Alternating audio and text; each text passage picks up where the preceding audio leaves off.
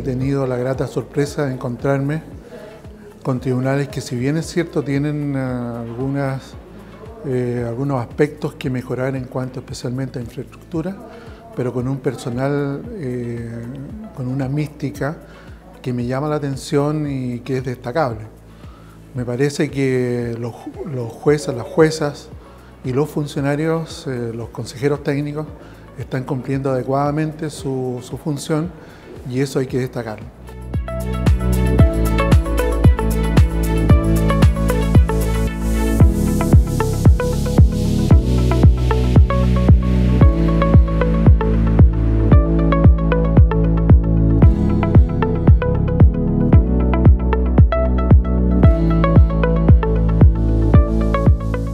Mi interés